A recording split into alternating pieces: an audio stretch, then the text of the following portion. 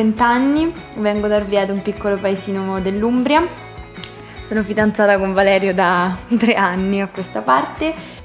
Io sono Valerio Braschi, vengo da Sant'Arcangelo di Romagna. Dopo la mia esperienza a Masterchef Italia ho deciso di intraprendere la carriera di cuoco. Sono in procinto insieme a Gaia di aprire un ristorante a Roma siamo conosciute a Lisbona durante una vacanza scolastica, io ero con la mia classe, con la mia scuola e lei era con la sua, che lei andava a Orvieto, io andavo a Savignano. Adesso noi lavoriamo insieme e cerchiamo di stare insieme il più possibile, anche comunque abitando a distanza, perché comunque abitiamo a tre ore di macchina. Eh, gli do una mano comunque sia anche sui social, spesso capita che magari scriviamo, non so, didascalie di foto insieme o comunque sia ecco io faccio cose per me quando non posso oppure lei mi fa tutte sì, le foto tutte le foto dei suoi piatti ho anche foto di me le fa i suoi video. fa foto bellissime quindi. Ho scoperto di essere celiaca a due anni e mezzo.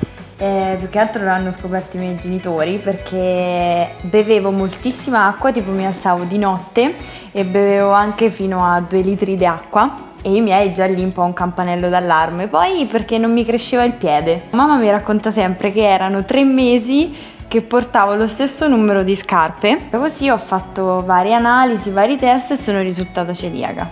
Il ricordo che ho è che i miei non mi hanno mai fatto pesare nulla, del tipo se non potevo mangiare una cosa magari facevano a meno di mangiarla anche loro piuttosto che vedermi a me triste la celiachia di Gaia è diventata per me quasi tipo una sfida per conoscere diciamo, questo mondo, che è un mondo che sembra molto piccolo, però è un mondo vastissimo, perché comunque la farina è contenuta in un sacco di preparazioni, quindi sostituirla e cose è sempre una sfida, però alla fine è una sfida che facilmente si può vincere, perché alla fine si può fare tutto senza glutine.